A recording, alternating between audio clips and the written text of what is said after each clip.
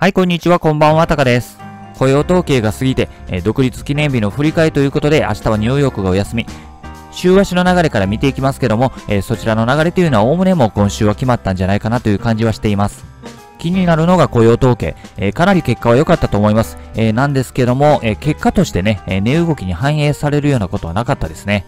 ダウも発表前のレートからは下回っていますし、為替で言ってしまえば大きな値動き自体が起こらなかったですね。えー正直この結果を受けて、えー来週どうなるかというのは僕にはわかりません。えーなので、まあ、チャートを見ていくしかないんですけども、結果が良かったのにそれが値動きに反映されてないというのはね、まあ少し気にはなるかなと思います。今日は動かないかもしれませんけども、えチャートを見ていきたいと思います。こちらが4時間足に週足を重ねています。一通りイベントを通過した後のこの週足ですね。えーまずは先週と比べてみると高値が切り上がっていて、安値も切り上がっています。えー僕がポイントとして見ていたのはこの先週の週足。これがしっかりサポートされたというのがね、えー全体的な流れを見ていく際のとても重要なポイントになってるかなと思います。えーまずはこれ安値ですね。106円でサポートされているという事実。あとは週足の実体部分で見ても安値を更新しなかったという事実。えつまりこの106円台というのはしっかりした買いが入っていると今のところ見ています。では次に高値を見ていきたい。当然この戻り高値というのは気になるんですけども、その前回の高値も合わせて考えてみると、えこの辺りはレンジになってくるんではないかなと。えただまだはっきりこの高値の部分っていうのはわからないんですよね。僕の場合はざっくりと、この前回の実体部分の高値、えこの辺りですね、108円のミドル、えそれと戻り高値のここですね、え109円のミドル、えある程度この辺りが戻り高値のミドになってくるんではないかなと、今のところ見ています。え大きな流れではレンジを見ていますんで、えレンジということは下がサポートされた後というのは下限から上限へのこういった上昇トレンドが今後生まれてくるんではないかなと。えただしこれ何度も言ってますけども、レンジの中の動きというのははっきりした動きにならないんですよね。え綺麗なトレンドが生まれにくい。結果的にこの高値へ到達したとしても、えこの到達する過程において、えこの値動きというのはかなり複雑な値動きになるかもしれません。えー例えば今週であればね、108円を試すような場面ありましたけども、えーこの108円を試すような動きがそのままトレンドとして、えー上昇トレンドが生まれていないというのもね、まあこういった特徴の一つかなと思います。えーなので、まあ、ドル円に関してはこのレンジの中でごちゃごちゃする動きになるんじゃないかなというイメージは持てますけども、えーどういった動きになっていくのかというイメージがなかなかつかみにくいですね。え基本的にはこのレンジの加減で買って上限で売る。まあ、こういったレンジトレードが基本になってくるかと思いますけども、え短期足ではこういった場面ね、ここもそうですね、え抜ける場面っていうのが出てきますんで、えそのあたりは注意が必要かなと思います。はい、こちら1時間足に日足を重ねています。下落トレンドが止められて、この戻り高値を抜けている、この上昇トレンドを今は見ています。昨日のこの日足というのは安値を更新していないので、この上昇トレンドに対しての持ち合いですね、え高値圏でのレンジがもしかしたら起こるかもしれませんね。え昨日、そしておとついもそうですね、え安値がサポートされている場所というのは、え前回戻り高値となっている場所になります。えこういった過去に抵抗となっていた場所を抜けてくれば、えその後はサポートになる。レジサポ転換みたいな言い方もしますけども、えーただ僕はね、これあまり信用はしてないんですよね。えー現状はまだサポートされていますけども、このあたりの値動き、えー先ほど上位足も見ましたけども、はっきりした値動き生まれにくい環境にはあるんですよね。今のところこの上昇派は信じています。えなので、まあ、どこかでおしめ買いだろうなというイメージは持っていますけども、えー例えば昨日この日足がしっかりサポートされているから、えー現状この高値圏でレンジを見た場合は、レンジの加減、えーここからのロングというのは機能するようにも見えてきますけども、この流れに上位足のサポート、えフォローというのが入ってくるかと言われると、え少しそこは疑問が残ってしまいます。えードル円に関してははっきり値動きに自信が持てないので、え現状はね、これ高値圏でレンジを組みそうになっていますけども、えもう少しこの流れの推移というのを見ていきたいですね。このレンジから下に抜ける動きというのもね、可能性は全然あるかと思います。えこの107円をサポートされるかどうかというのが重要な視点となってくるかもしれません。えというのも、今週の週足の始まり値というのは、この107円を超えたあたり、このあたりでスタートしてるんですよね。えなので、まあ今日は値動きないかもわからないですけども、来週以降ですね、え下回ってくるような形になってくると、週足が安値を更新する形になります。えこうなってくると少し、えベア目線、売り方の目線というのが強く出てくるかもしれません。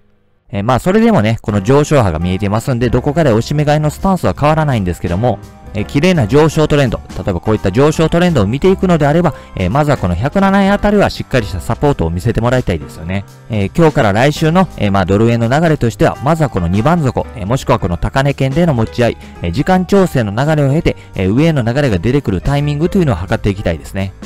はい、こちら、15本足に4時間足を重ねています。え、水曜日、この日ですね、大きな流れに変化がありました。こういった上昇トレンドが綺麗に生まれていたんですけども、この押し安値を割ったことによって、この上昇トレンドは止められています。なので、今中心に見ている波というのはこの上昇トレンドを止めたこの下落です。現在はこの下落の底値圏でレンジを組んでいることになります。え今日の値動きを見ていっても、この辺りのネックラインというのはある程度意識されているなというのがわかります。え雇用統計後、えこのレンジから上抜けた形になっていますんで、え小さな上昇トレンドが出てくるかもしれません。えつまりこの青い波に対しての調整の上昇の流れというのがね、え出てくるかもしれませんね。現状僕はブルーの波を基本に見ていますんで、この緑の上昇トレンドを追いかけるという目線では見ていきません。逆ですね、この緑の上昇トレンドが止められる場所、もしくは反転していくような流れというのを、まあ、見ていくことになります。一番簡単に分かりやすい形を思い描くんであれば、え、例えばこういった3損ですね。この辺りでもし天井圏を作って、ここからの下落の流れが生まれた場合、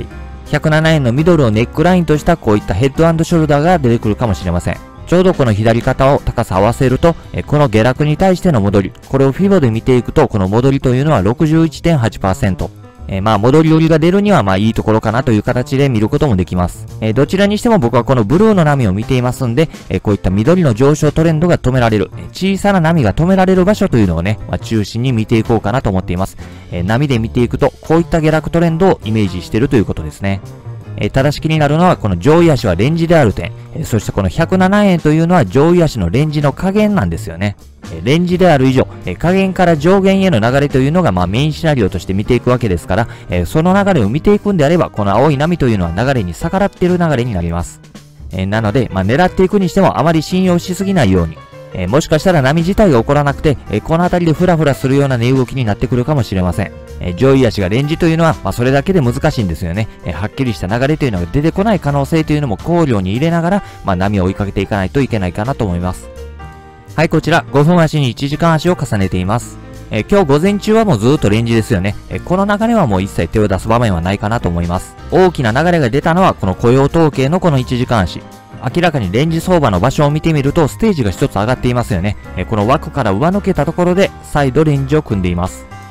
この形、昨日も話をしましたけども、レンジから抜けたところで再度レンジを組むというのは、このレンジから抜けるような動きというのは大きな値動きが出てくる可能性が出てきます。特にこの形で見ていくのであれば、上への流れですね。え仮にこれを下に抜けてしまったとしても、所詮はこれ、下はレンジなんで、大きな流れに変化が出るような値動きには繋がっていきにくいんですけども、えこれ上の方に流れていくと新たなステージ、大きな流れというのが出てくる可能性はやっぱり出てきます。このレンジからブレイクする形になると、え足場から上への流れですね。こういった上昇トレンドが生まれることになりますけども、先ほど見ていた冷やしの流れを見ていくと、え戻りは売りかなと見ていますんで、この上昇トレンドが止められる場所というのをまずは見ていきたいんですね。えこの後の動きというのは、まあ、小さな値動きを追いかけていくことになります。え例えば天井圏を作るとか、えダブルトップを作るとか、まあ、そういった形で、上値の重さを確認できるような形になれば、えそこからの下落というのは一度目は乗ってみようかなと、大きな流れで見ていくのであれば、こういった下落トレンドを見ていくということになります。えー、ただまあ今日はね、もう動きがないかもわかりませんし、そもそもドル円はレンジ相場、まあそういった流れが生まれにくい環境にありますんで、あまり期待しすぎないように相場の方はね、参加していこうかなと思っています。はい、変わりましてこちらニューヨークダウの CFD1 時間足に冷やしを重ねています。えー、ダウは比較的大きなレンジ圏をこの辺りで作ってるんじゃないかと見ています。えー、値幅がだいたい1000ドルちょっと。昨日は雇用統計というイベントがあったんですけども、えー、このイベントを通過した後も、え値動きというのはさほど生まれませんでしたね。え結果として冷やしはこのレンジを上抜けるような動き、まあ下もそうなんですけども、え抜けるような動きにはなりませんでした。なので、まあ引き続きこのダウというのはレンジ相場。直前の流れを見ていくと、この2万5000を起点とした上昇トレンドが生まれています。現在はこの調整の流れからの底値圏でのレンジ。直前が上昇トレンドなんで、当然上への流れがメインシナリオになってくるんですけども、注意しないといけないのはこの2万5000を割れる動き。直前のこの波の起点となっているレートでもありますんで、この2万5000を割れるような動きになってくると、上位足でのトレンドが転換する形になります。はい、えー、チャートを少し戻します。えー、これが4時間足に週足を重ねています。えー、見ている2万5000というのがここになります。仮にこの2万5000を割るような動きが出てくると、えー、このあたりの動きは天井圏からのネック割れ。もう一回り大きなサイズの波を見ていくと、この下落からの調整の戻り、この戻りの高値で天井圏を作って、この流れが転換する形。先ほど短期足で見ていた上昇の流れというのは、この流れを見ていたんですね。この2万5000のこの部分を起点とした上昇、そして調整の流れが出ていると。小さな流れのネックライン、この2万5000を割れるような動きというのは、ワンサイズ大きな波で見ていっても、天井圏からのネック割れとして機能することになりますんで、こういった小さな波を見ていくんであれば、当然シナリオは上になってくるんですけども、同じように、この2万5000を割れるような動きが出てくれば、前回の持ち合いが、この辺りに見えますんで、まずはこの2万3000あたりへ向けた下落の波というのが、本格化する可能性が出てきます。えなので、まあ、この2万5000をキープできるかどうかというのは、え見ていく上ではとても大事になってきますね。はい、変わりましてこちら日経平均の CFD、1時間足に冷やしを重ねています。え日経平均も依然レンジ、なかなか動きが出てこないですね。このレンジ幅もかなり狭いので、えこの中でトレードをしていくというのはもう難しくなってきています。多くの人がこのレンジからの抜けを待っているんではないかなと。上に抜けるのか、下に抜けるのか、この値動き自体はわかりません。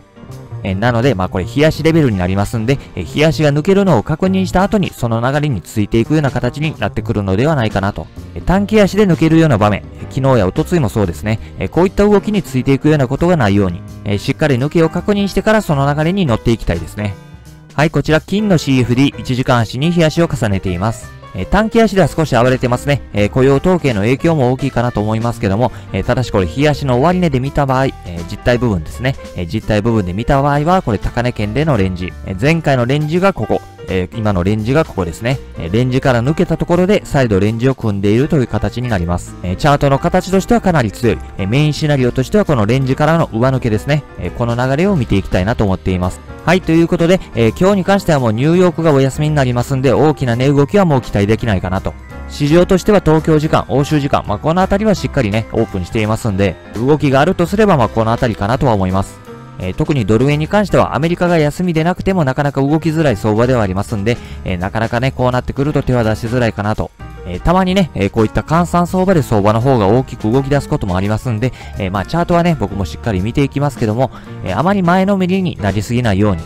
トレードをするにしてもしっかりチャンスを待ってトレードしたいですね。え今回は以上になります。えドル円以外の通貨に関しては別動画になりますんで、アップし次第、え概要欄の方にリンクの方を貼っておきます。それでは今日も頑張っていきましょう。